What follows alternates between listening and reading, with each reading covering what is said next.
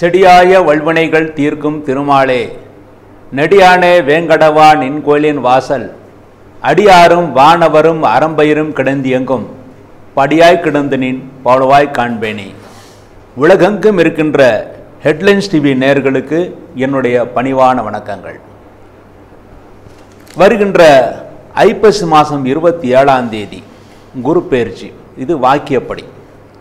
வாக்கியப்படி ஐப்பசி மாதம் இருபத்தி ஏழாம் தேதி பதிமூன்று பதினொன்று இரண்டாயிரத்தி இருபத்தொன்று சனிக்கிழமை சுக்லபட்சம் தசமி திதி பூரட்டாதி நட்சத்திரம் கூடிய சுபயோக சுபதினத்தில் மாலை ஆறு மணி முப்பது நிமிடத்திற்கு குரு பகவான் மகர ராசியிலிருந்து கும்பராசிக்கு சஞ்சாரம் செல்கிறார்.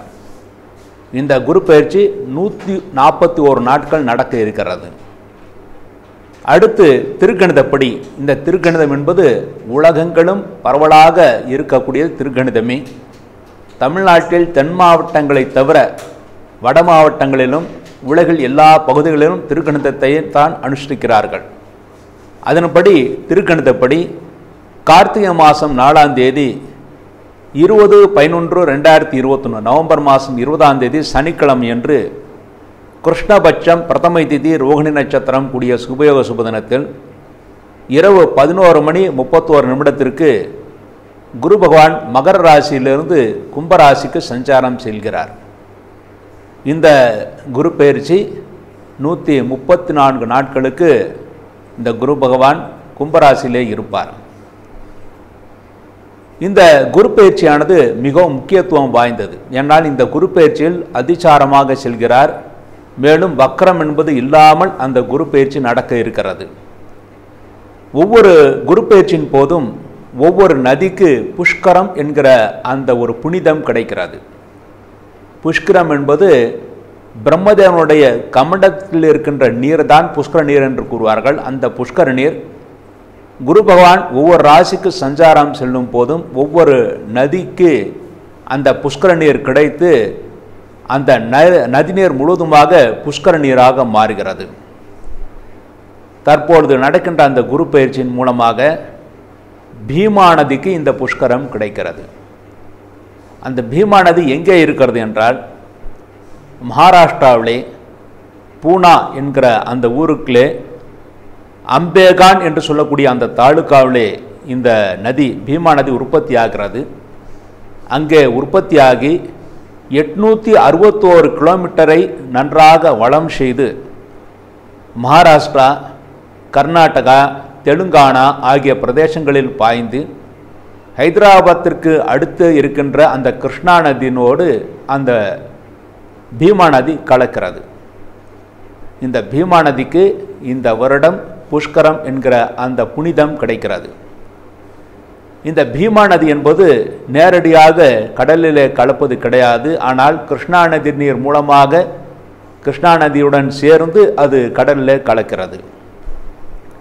இந்த பீமா நதிக்கு இந்த புஷ்கரம் கிடைப்பதனால் திருக்கணிதப்படி நடக்கின்ற அந்த குரு பயிற்சிக்கு பிறகு பன்னிரண்டு நாட்கள் அந்த நதிக்கரைகளுக்கு சென்று அங்கே நதிக்கு பூஜைகள் செய்து ஸ்நானம் தானம் தர்ப்பணம் ஆகியவற்றை செய்ய வேண்டும். அவ்வாறு செய்தால் நம்முடைய வாழ்க்கை புனிதமாகும் என்று ஜோதிட சாஸ்திரமும் வேத சாஸ்திரமும் கூறுகிறது. மேலும் அந்த புனித நீரில் குளித்து நாம் பூஜைகள் செய்வதன் போது நமக்கு நல்ல பலன்கள் கிடைக்கும். அதன் மூலமாக நம்முடைய வாழ்க்கை சுபிட்சமாகும் என்றும் கூறப்படுகிறது. இந்த குரு பேச்சுக்கு மாத்திரம் ஏன் அவ்வளவு முக்கியத்துவம் என்று பார்த்தால் குரு பகவான் ஞானத்திற்கு அதிகாரி. எந்த ஒரு ஜாதகத்தில் குரு பகவான் சுபகரங்களோடு சேர்ந்திருக்கிறதோ அல்லது வலுத்திருக்கிறதோ அவர்களுக்கு ஞானம் இருக்கும் நற்குணங்கள் இருக்கும் நல்ல புத்திர பாக்கியத்தை கொடுக்கக்கூடிய குரு பகவானாக இருப்பார். ஆச்சாரத்தை தன்னுடைய குல ஆச்சாரத்தை காப்பவனாக இருப்பான். புத்திசாலியாக இருப்பான் பக்திமானாக இருப்பான் பக்தியின் மூலமாக நல்ல கதியை பெறுபவனாக இருப்பான். எந்த காரியத்தை செய்வதாக இருந்தாலும் சிரத்தையோடு செய்பவனாக இருப்பான். அதே போலவே எப்படி ஆண்களுக்கு சுக்கிரன் என்பது களத்திர காரகனோ அதே போலவே பெண்களுக்கு குருதான் புருஷ காரகன் அதாவது கணவனுக்கு காரகன் என்று ஜோதிட சாஸ்திரம் கூறுகிறது. ஆக குரு பகவான் இவ்வளவு அதிகாரங்களை பெற்றவராக இருப்பதனாலும் தனத்துக்கு அதிகாரியாக இருப்பதனாலும் தொழிலுக்கெல்லாம் அதிகாரியாக இருப்பதனாலும் குரு பகவான் மிகவும் முக்கியமானவராக போற்றப்படுகிறார். இந்த குரு பயிற்சி இந்த வருடம் ஒரு சிறப்பான ஒரு குரு பயிற்சியாகவே இருக்கிறது. இந்த குரு பயிற்சியின் மூலமாக நம்முடைய வாழ்க்கையில் சிறப்பை நாம் எட்ட முடியும்.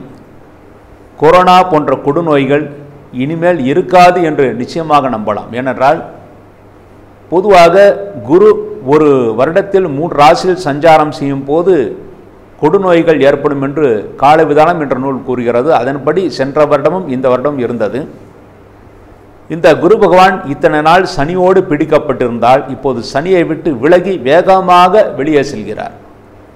ஆகவே இனிமேல் கொரோனா போன்ற கொடிய நோய்கள் சமீபத்தில் வராது என்று நிச்சயமாக நாம் நம்பலாம்.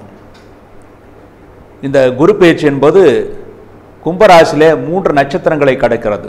அவிட்டம் சதயம் பூரட்டாதி. இந்த மூன்று நட்சத்திரங்களை கடக்கிறது. அவிட்டம் என்பது செவ்வாயினுடைய நட்சத்திரம் இருபது பதினொன்று ரெண்டாயிரத்தி இருபத்தொன்று முதல் ஒன்று ஒன்று ரெண்டாயிரத்தி இருபத்தி ரெண்டு வரை ஒரு நாற்பத்தி மூன்று நாட்களுக்கு செவ்வாயுட நட்சத்திரத்தில் அவிட்டம் நட்சத்திரத்தில் குருபவான் சஞ்சாரம் செய்கிறார். அதன் பிறகு ரெண்டு ஒன்று ரெண்டாயிரத்தி இருபத்தி ரெண்டு முதல் இருபத்தெட்டு ரெண்டு ரெண்டாயிரத்தி இருபத்தி ரெண்டு வரை ஐம்பத்தெட்டு நாட்களுக்கு குரு பகவான் ராகு பகவானுடைய சதயம் நட்சத்திரத்தில் சஞ்சாரம் செய்கிறார். அதன் பிறகு தன்னுடைய சுய நட்சத்திரமான புரட்டாதி நட்சத்திரத்திலே ஒன்று மூணு ரெண்டாயிரத்தி இருபத்தி ரெண்டு முதல் பதிமூன்று நான்கு ரெண்டாயிரத்தி இருபத்தி ரெண்டு வரை சஞ்சாரம் செய்கிறார். இந்த தன்னுடைய சுய நட்சத்திரத்தில் சஞ்சாரம் செய்யும் போது குரு பகவான் அளப்பரிய நன்மைகளை கொடுப்பார் என்று ஜோதிட சாஸ்திரம் கூறுகிறது. சென்ற முறை இதே குரு பகவான் கும்பராசிலே அதிக சஞ்சாரம் செஞ்ச போது சென்ற முறை பன்னிரெண்டு வருடங்களுக்கு முன்பாக அஜித் அதிசாரமாக சஞ்சாரம் செய்யும் போது அமெரிக்காவிலே பண விஷயத்திலே நிறைய வங்கிகள் அதாவது பேங்க் போன்ற நிறுவனங்கள் எல்லாம் திவாலாக போனது. இந்த வருடம் அவ்வாறு நடக்காது ஆனால் இந்த வருடம் தங்கம் விலை கடுமையாக ஏறும் என்று எதிர்பார்க்கப்படுகிறது. இந்த குரு பகவான் அந்த பூரட்டாதி நட்சத்திரத்தில் செல்லும் போது மிகவும் அதிகமாக தங்க விலை ஏறும். மார்ச் முதல் அதிகமாக தங்க விலை ஏறும். இப்பொழுது இருக்கின்ற விலையை விட முப்பது சதவீதம் தங்க விலை ஏறுவதற்கான வாய்ப்புகள் இருப்பதாக ஜோதிட சாஸ்திரம் கூறுகிறது. ஆக இந்த குரு பயிற்சி ஒரு முக்கியமான குரு பயிற்சியாக கருதப்படுகிறது. இனி இந்த குரு பயிற்சியின் மூலமாக பன்னிரண்டு ராசிகளுக்கு ஏற்படக்கூடிய நன்மை தீமைகளை பற்றி ஆராய்வோம். முதலில் மேஷராசி அன்பர்களை அஸ்வினி பரணி கிருத்திகை ஒன்றாவது பாதத்தில் பிறந்த மேஷராசி அன்பர்களை இந்த ராசிக்கு இப்பொழுது குரு பகவான் லாபஸ்தானத்திற்கு சஞ்சாரம் செய்ய இருக்கிறார். லாபஸ்தானத்தில் குரு பகவான் வருவதன் மூலமாக இதுவரை தொழில்துறையில் இருந்த சிக்கல்கள் பிரச்சனைகள் எல்லாம் தீர்ந்து முன்னேற்றத்தை ஏற்படுத்தி கொடுக்கும். தன வருவாய் அதிகமாக கிடைக்கும். வீடு மடை வாங்கக்கூடிய சூழ்நிலைகள் உருவாகும். மாணவர்கள் நல்ல மதிப்பெண்களை பெறுவார்கள்.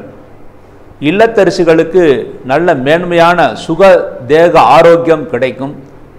உடல் வலியினாலும் வயிற்று வலியினாலும் வருந்திய இல்லத்தரசிகள் இப்பொழுது நல்ல சுகத்தை அனுபவிப்பார்கள். எந்த தொழில் செய்பவராக இருந்தாலும் அந்த தொழில்துறையிலே நல்ல லாபமும் முன்னேற்றத்தையும் அடைவார்கள். குழந்தை பாக்கியம் இல்லாதவர்களுக்கு குழந்தை பாக்கியம் கிடைக்கும். திருமணம் ஆகாதவர்களுக்கு விரைவில் திருமணம் நடைபெறும். இந்த ஐந்து மாத காலத்தில் நிச்சயமாக திருமணம் நடந்து வாழ்க்கை சுபிட்சமாக இருக்கும். தொழில்துறையிலே பணப்பற்றாக்குறை இருந்தால் அவையெல்லாம் தீரும். தாராளமாக பண வருவாய் கிடைக்கும். வேலை கிடைக்காதவர்களுக்கெல்லாம் இந்த வருடம் நிச்சயமாக வேலைவாய்ப்பு கிடைக்கும். ஒரு சுகமான வருடமாக இருக்கிறது. உங்கள் ராசிக்கு இரண்டாம் இடம் ராகு பகவான் சஞ்சாரம் செய்ய இருப்பதனால் செய்து கொண்டிருப்பதனால் இந்த காலகட்டத்திலே சிலர் தனி குடித்தனம் செல்ல வேண்டிய சூழ்நிலைகள் உருவாகும். புதிதாக வீடு கட்டி கிரகப்பிரவேசம் செய்து தனி குடித்தனம் செல்லக்கூடிய சூழ்நிலைகள் உருவாகும். தொழில்துறையில் சிக்கல்கள் இருந்தால் அந்த சிக்கல்கள் எல்லாம் தீரும் என்று எதிர்பார்க்கலாம். உங்கள் ராசிக்கு பத்தாம் இடத்திலே சனி பகவான் ஆட்சி பெற்றிருக்கிறார். ஆகவே தொழில்துறையிலே புதிய முயற்சிகளை செய்யலாம். எந்த காரியத்தை செய்தாலும் ஆரம்பத்தில் சிறிது தாமதமானாலும் நிச்சய வெற்றிங்கிறது உங்கள் பக்கமே இருக்கிறது. இந்த வருடம் உங்களுக்கு சுபிட்சமான வருடமாக இருக்கிறது. இது ராசி பலன். அடுத்து லக்னத்திற்கு என்ன பலன்? அதாவது இதே மேஷ லக்னத்துக்கு சிறிது பலன்கள் மாறுபட வாய்ப்பு இருக்கிறது. அதன்படி மேஷ லக்னத்திற்கு என்ன பலன் என்று பார்த்தால் மேஷ லக்னத்தில் பிறந்தவர்களுக்கு மூன்றாம் இடத்திற்கு குருடைய பார்வை வருவதனால் தைரியம் மனோதைரியம் அதிகமாக இருக்கும். கீர்த்தி புகழ் கிடைக்கும். இதுவரை உங்கள் பெ- புகழ் மங்கியிருந்தால் அந்த புகழெல்லாம் சரி செய்து நல்ல முன்னேற்றத்தை நீங்கள் அடைவீர்கள். சிறு குழந்தைகளுக்கு இளைய சகோதரன் கிடைக்கக்கூடிய வாய்ப்புகள் மிக அதிகமாக இருக்கிறது. இளைய சகோதரனுக்கு நல்ல முன்னேற்றத்தை ஏற்படுத்தி கொடுக்கும். மூத்த சகோதரனுக்கும் நல்ல யோகத்தை ஏற்படுத்தி கொடுக்கும். குழந்தை பாக்கியம் இல்லாதவர்களுக்கு குழந்தை பாக்கியம் கிடைக்கும். மனைவியின் ஆரோக்கியத்தில் ஏதாவது குறைபாடுகள் இருந்தால் அந்த பிரச்சனைகள்லாம் தீர்ந்து மனைவிக்கு நல்ல ஆரோக்கியத்தை ஏற்படுத்தி கொடுக்கும் ஒரு சந்தோஷமான வருடமாக இந்த வருடம் இருக்கிறது. இந்த வருடம் இருபது பதினொன்று ரெண்டாயிரத்தி இருபத்தொன்று முதல் நாலு பன்னிரெண்டு ரெண்டாயிரத்தி இருபத்தொன்று வரை உங்கள் ராசிக்கு குரு பகவான் செவ்வாயுடைய ராசியிலே சஞ்சாரம் செய்து அந்த செவ்வாய் உங்கள் ராசிக்கு ஏழாம் இடத்தில் சஞ்சாரம் செய்கிறார். ஆகவே இந்த குரு பயிற்சி ஆனவுடனேயே திருமணம் ஆகாதவர்களுக்கு விரைவில் திருமணம் கைகூடுவதற்கான வாய்ப்புகள் நிறையவே இருக்கிறது. மேலும் மனைவியின் ஆரோக்கியம் குறைந்திருந்தால் அவையெல்லாம் சரியாகும் என்று எதிர்பார்க்கலாம். அதன் பிறகு நாலு பன்னிரெண்டு ரெண்டாயிரத்தி இருபத்தொன்னுக்கு பிறகு ஒன்று ஒன்று ரெண்டாயிரத்தி இருபத்தி ரெண்டு வரை அதாவது டிசம்பர் மாதம் முடிய ஜனவரி ஒன்றாம் தேதி வரை விருச்சிக ராசியிலே செவ்வாய் பகவான் சஞ்சாரம் செய்கின்ற அந்த காலத்திலே குரு பகவான் செவ்வாயுடைய சாரத்தில் இருப்பதனால் இடமாற்றங்கள் ஏற்படுவதற்கான வாய்ப்புகள் புதிதாக வீடு மனை வாங்கக்கூடிய வாய்ப்புகள் ஆகியவற்றையெல்லாம் இருக்கிறது. அந்த காலகட்டத்திலே அதாவது டிசம்பர் மாதம் நாலாம் தேதிக்கு பிறகு நன்மை பெறுவதற்காக செவ்வாய் எட்டாம் இடத்திலே சஞ்சாரம் செய்வதனால் முருகனுக்கு ஒரு செவ்வாய்க்கிழமை என்று அபிஷேகம் செய்வது மிகவும் சிறப்பானது. அடுத்து ராகுடைய சஞ்சாரத்தில் செல்கின்ற காலமான ரெண்டு ஒன்று ரெண்டாயிரத்தி இருபத்தி ரெண்டு முதல் இருபத்தெட்டு ரெண்டு ரெண்டாயிரத்தி இருபத்தி ரெண்டு வரை அதாவது பிப்ரவரி மாதம் வரை ஜனவரி பிப்ரவரி ஆகிய இரண்டு மாதங்களிலே குருபான் ராகுடைய சஞ்சாரத்திலே சஞ்சாரம் செய்வதனால் புதிதாக வீடு மனை வாங்கக்கூடிய சூழ்நிலைகள் உருவாகும். குடும்பத்தில் இருந்த பிரச்சனைகள் எல்லாம் தீரும். பழைய பாக்கிகள் வசூலாகும். நல்ல தனவரவு உண்டாகும் என்று எதிர்பார்க்கலாம். அடுத்து குரு தன்னுடைய சுயச்சாரத்திலே மார்ச் மாதமும் மார்ச் ஒன்றாம் தேதி முதல் ஏப்ரல் பதிமூன்று வரை சஞ்சாரம் செய்கின்ற அந்த ஒன்றரை மாத காலத்திலே குரு பகவான் உங்களுக்கு அளப்பரிய நன்மைகளை பெற்றுத்தருவார் பூர்வீக சொத்துக்கள் கிடைப்பதில் சிக்கல் இருக்காது. அதை எதிர்பார்ப்பவர்களுக்கு நிச்சயமாக அந்த சொத்துக்களும் கிடைக்கும். ஒரு சந்தோஷத்தை ஏற்படுத்தி கொடுக்கும். யோகத்தை ஏற்படுத்தி கொடுக்கும். இந்த வருடம் பரி பரிகாரமாக ஏற்கனவே சொல்லியபடி டிசம்பர் நாலாம் தேதிக்கு பிறகு முருகனுக்கு அபிஷேகம் செய்ய வேண்டும். அதன் பிறகு பிரதி வெள்ளிக்கிழமை துர்க்கை அம்மனுக்கு நல்லெண்ணெய் விளக்கு வைத்துவிட்டு வருவது மிகவும் சிறப்பானது. பத்தாம் இடத்திலே சனி பகவான் சஞ்சாரம் செய்வதனால் பிரதி சனிக்கிழமை ஆஞ்சநேயரை வழிபாடு செய்யுங்கள். இந்த வருடம் ஒரு சுபிட்சமான வருடமாக இருக்கும்.